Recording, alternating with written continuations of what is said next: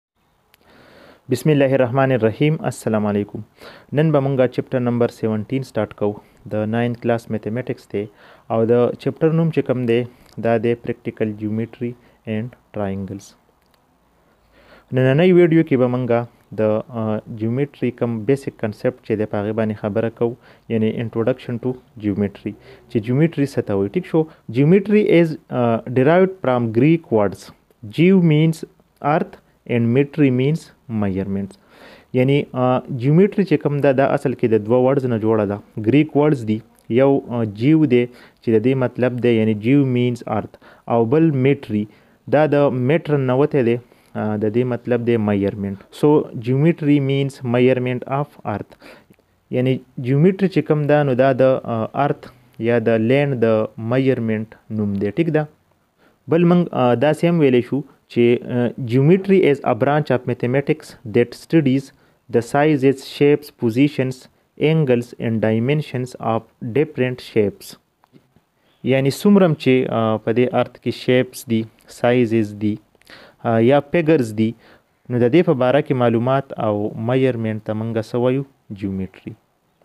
د دې نه علاوه پریکټیکل جیومټري خبره ده نو پریکټیکل جیومټري هم زمونږ سره د جیومټري یو حصہ ده ټیک شو یو اهم حصه ده د پریکټیکل جیومټري زمونږ سره په عام لایف کې ډیر اپلیکیشن او اهمیت دي ټیک شو لکه فار ایگزامپل که مونږ وګورو چپ چاپیره نو دا څومره کورونه چې دي یا بلډینګز وغیره یا ډیمز شو نو دا ټول د پریکټیکل جیومټري په استعمال باندې چې کوم د کنسټرکټ شوی دي لکه فار ایگزامپل کو یو انجینیر می او دا سره کنسټرکشن کار کوي ټیک شو او بلډینګ کنسټرکټ کوي یا دغه شان ډیم وغیرہ چې کوم دی دا کنسټرکټ کوي نو دلته کومه پریکټیکل جیومټري چې ده د دې مین رول دی بل دې نه علاوه دا خبره هم ډیره ضروری ده دلته مختلف پیګر شو دا من کنسټرکټ کوو ټیک شو لکه ټراینګل شو سرکل شو دې نه علاوه نور کم شیپس چې دي نو دا غي د پاره سر ټولز چې کوم دي دا یوز کی نو کم ټولز چې دي دا غي نمونه زده کول او د هغې فنکشن چې تاسو ته پته وي لکه کوم جیومیټري باکس چې کوم دی زمونږ سره په هغې کې کوم ټولز وي یعنې کوم انسټرومنټ وي چې د هغې په باره کې تاسو ته پته وي نو په دې کې چې کوم پس ټول دی زمونږ سره دا زمونږ سره دې ته مونږ سکیل وایو یا ورته رولر یعنې رولر یا سکیل ددی په مدد سره مونږ کوم سټریټ لاین چې دی یا لاین سیګمنټ چې کوم دی دا مونږ ډرا کوو ټیک شو نو د دې سکیل په ذریعه باندې مونږ مختلف لاین یا لاین سیګمنټ چې کوم دی دا ډرا کولای شو ټیک شو یا د خپل مرزي څومره لاین سیګمنټ چې زمونږ پکاري نو هغه مونږ د دې په مدد سره ډرا کولای شو په دې سکیل باندې دلته د پاسه نمبرز یعنی نومریکل ویلیوز لیکل شوی دا یا په سنټی میټر کې یا په انچز کې ټیک شو نو دا زموږ سره سکیل دی بل نیکسټ دویم نمبر زمونږ سره دی پروټریکټر یا دې ته مونږه ډي ام وایو ټیک شو نو دا زمونږ سره پروټریکټر دی یا ډي د دې فنکشن څه دی نو د دې په مدد سره مونږه انګلز چې کوم دي دا ډرا کولای شو ټیک شو یا د انګل کم پیمایش چې دغه مونږ په دې کولای شو یعنی چې انګل څومره ده نو دا زمونږ سره د دې ډی کار دی بل لدین علاوه دا کم دوه ټولز چې دي دا ټراینګل شیپ کې په دې کې یو زموږ سره غټ ټیبل وړوکی دی ټیک شو نو دې ته موږ سیټ سکویر وایو او د دې سیټ سکویر په مدد سره موږ مختلف کم لاینز چې دي یعنی پیرالل لاینز موږ په دې ډرا کولی شو د دې نه علاوه کم پرپینډیکولر لاینز چې دي هغه موږ د دې سیټ سکویرز په ذریعه باندې ډرا کوو ټیک شو بل لاست زمونږ سره دا دوه کم ټولز چې دي نو دې کې دا کم ټولز چې دی دې ته مونږ وایو کمپاس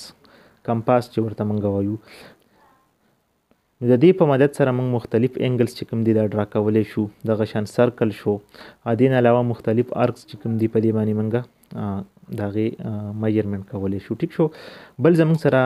لاس نمبر چې دی دې ته مونږ وایو ډیوایډر د ډیوایډر څه کار دی یعنی د دې په مدد سره مونږ یو لاین چې کوم دی دا ډیوایډ کولی شو په مختلفو حصو کې یعنی دا موږ د یو نشان یا د مارکس لګولو د پاره چې کوم دی دا یوز کوو کو یو لاین چې کوم دی موږ ته پکاري چې دومره لاین موږ د دینه کټ کو نو د دې په ذریعہ موږ هغه مارکس چې کوم دی دا لګولې شو یا یو لاین موږ په دې باندې ډیوایډ کوو ټیک شو نه دې ته ډیوایډر ځکه وایي بل دین علاوه یو څو بیسیک ډیفینیشن دي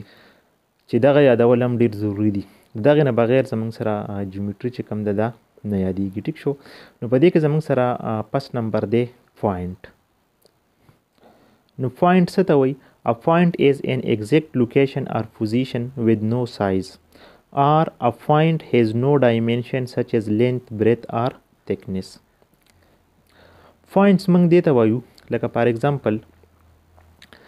کو موږ یو پنسل راوالو یا یو بل فاینټ شو او دا موږ داسې ګوري داسې دباو کوي نو دا کم څه چې زموږ سره راغلی دی ته موږ فاینټ وایو یعنی دا کم ډاټ چې زموږ سره دی دې ډاټ ته موږ څه وایو پوینټ وایو دا پوینټ چې کوم دی دا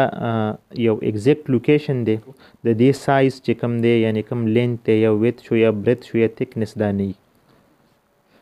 دا کوم یو ډاټ چې زموږ سره رااله دا زموږ سره یو پوینټ شو ټیک شو او د پوینټ د ظاهرولو لپاره یعنی دلته موږ ډیفینیشن لیکو بیا اگزامپل ویت سیمبل نو پوینټ موږ داسې ظاهروي یعنی یا خو موږ دا داسې لیکو چې پوینټ ا یعنی فرض کا موږ نوم ورکو نو کیپیټل لیټر باندې دا زموږ سره یو پوینټ ای شو یا موږ داسې هم کوو چې پوینټ وکړو داسې یعنی کم لیټر کم ای چې شو زموږ سره او په دې د پاسه داسې ډاټ وکړو نو دې مطلب دا شو چې دا پوینټ ای شو دین علاوه دویم نمبر زموږ سره دی لاین نو لاین څه ته وایي الاین از ا سټریټ پات دیټ ایکسټینډز ان اپوزیټ ډایرکشنز it has no end point and no fixed length یعنی لاین زمونږ سره یو سټریټ فاتی چې دا دوانه طرف ته صحیح ایکسټینډ شوی د دې څه حد نه معلوم یعنی دا یو طرف تم روان یو بل طرف تم یعنی انفاینایټی ټیک شو لکه فار ایگزامپل کوم موږ داسې وکړي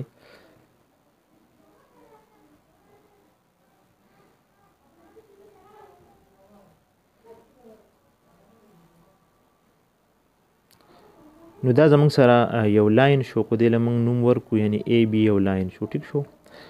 او دلته ګورئ د دې دا کم ایرو چې دی یو بل سایډ ته دی مطلب دا دی چې دا لا محدود دی یعنی دا داسې رواني او داسې رواني د دې ان پوینټ نه یعنی دا دوانه ډایرکشن طرف ته چې کم دی دا زمونږ سره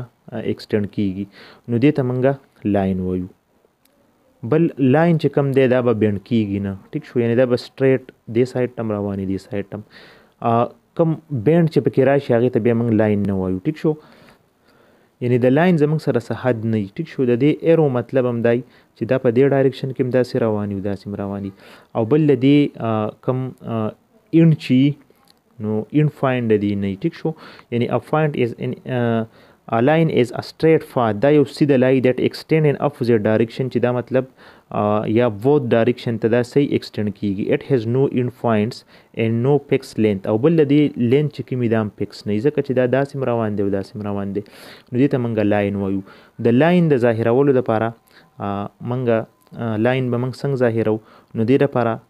دا ای بی یو لاین دی نو موږ داسې لیکو چې ای بی او د دې د پاسه داسې کچ د لاین کم نشان چې دی دا موږ داسې لګو نو دې مطلب دا شو چې ای بی زموږ سره یو لاین دی بل نیکس زموږ سره دی لاین سیګمنټ نو لاین سیګمنټ څه ته وایي لاین سیګمنټ اصل کې زموږ سره د لاین یو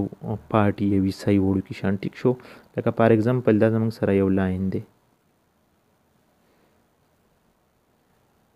پرس که دا ای بی یو لاین دی اوس د دې لاین پرس که دا من کټ کو دلته دا یو حصہ شوه سی ډی او دا موږ دلته ډرا کو داسې سی ډی نو دا اصل کې زمونږ سره وس لاین سیګمنټ شو لاین سیګمنټ زموږ سره د لاین یو حصه وړو کې شان او بل خبره دا چې د دې دوه اینډ پوینټي یعنی کم زینه چې دا شروع کیږي بیګینینګ او کم چې ختمیږي نو د دې اینډ پوینټ زموږ سره سوی دوه دا زموږ سره معلومي محدودي دې ته موږ لاین سیګمنټ وایو نو اټ از ا پارت اف ا لاین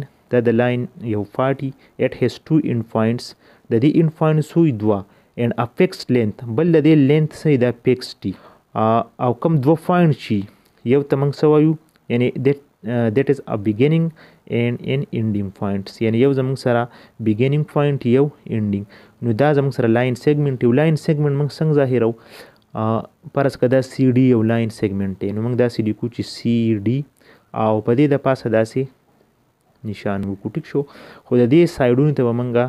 ایرو چې کم دی دا نه لګو یعنی کله چې لاین نو بیا به منګه سکو دا کم هډ چې دی یعنی دا کم ایرو نشان چې دا به بیا منګه لګو نو دې ته منګه وایو لاین سیګمنت بل نیکس زمون سره دی ری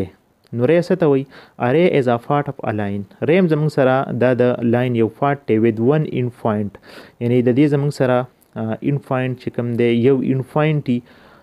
کوم ځینه چې دا سٹارټ کیږي سٹارټینګ پوینټس اینډ کنټینیوز فار ایور ان د ادر ډایریکشن او دا به داسې بل سایډ ته چې کوم دی دا جاری ټیک شو یعنی د یو سایډ نه به دا فکس ټي او بل سایډ ته چې کوم دی د دې ایرو نشان به نو دې مطلب دا چې د یو سایډ د دې معلوم دی او بل سایډ نه دی نو دا موږ داسې لیکوي پرس کا د دې هغه سٹارټینګ پوینټ شو او بل سایډ د دې نه معلوم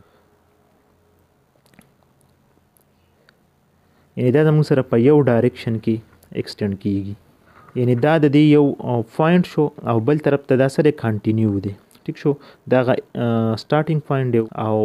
بیا کنټینیو دی ټیک شو دې ته موږ ری وایو او ری موږ داسې ظاهرو دا ای بی او ری دی نو موږ داسې لیکو چې ای بی او د دې داسې نشان بیا کوو د پاسه یو سایډ ته به مونږ کوم ایرو نشان چې دا وکړو نو دې مطلب دا ده چې دا داسې فارورډ ډایرکشن کې یو سایډ ته چې کوم دی دا څه دی روان دی نو دا زمونږ سره ری وو اوس په لاست کې به مونږ راشو په ټراینګل به لږه خبره وکړو ځکه چې دلته کومه پریکټیکل جیومټري مونږ وایو دې چپټر کې ټیک شو نو دا زیاده تر کم ټراینګل چې دی د هغې سره ریلیټډ ده یعنی ټراینګل به منګه څنګه کنسټرکټ کو دغه کم کنسټرکشن چې دی ټیک شو او بل د دې ټراینګل چې کم الیمنټس دي چې په هغه باره کې موږ ته پته وي نو ټراینګل موږ څه ته وایو ټراینګل ګورې زموږ سره داسې یو کلوز پیګري د دې زموږ سره درې سایډز دي یعنی دې کې درې سایډز یو درې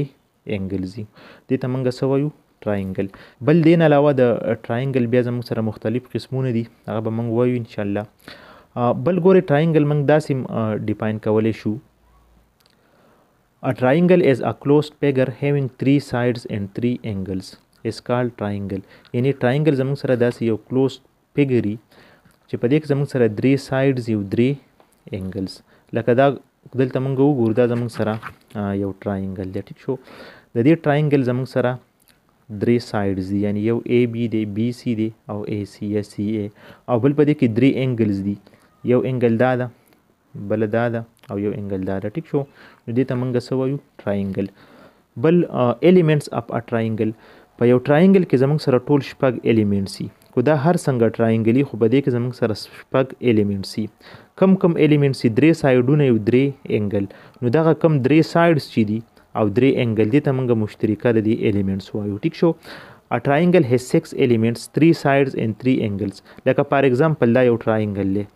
ټیک شو دې سکس الیمنټس دي یعنی د سکس الیمنټس اف ا ټراینګل ای بی سی دا کوم ای بی سی ټراینګل چې د دې شپږ الیمنټ دي زموږ سره یو ای بی دی یعنی دا ای بی کوم لاین سیګمنټ چې دی بل بی سی دی او بل زموږ سره ای سی دی دا د دې ساید شو بل انګل انګل ای بی سی یعنی انګل ای بی سی یا سمپل موږ د سیم ویل شو چې انګل بی یعنی دا کومه انګل چې دا دغه شان انګل ای سی بی اي سي بي دا انګل یاد ټیک شو او بل زمونږ سره انګل بي اي سي یعنی بي اي سي دا انګل یاد دا درې انګل دی دا درې سایډز نو دا د دې شپږ الیمنټس دي د سکس الیمنټس اف ا ټراینګل آر یعنی دا کم سکس الیمنټس چې دا به دلته لیکل شوی دی یو سایډ ای بی دی یو سایډ بی سی دی یو سایډ ای سی دی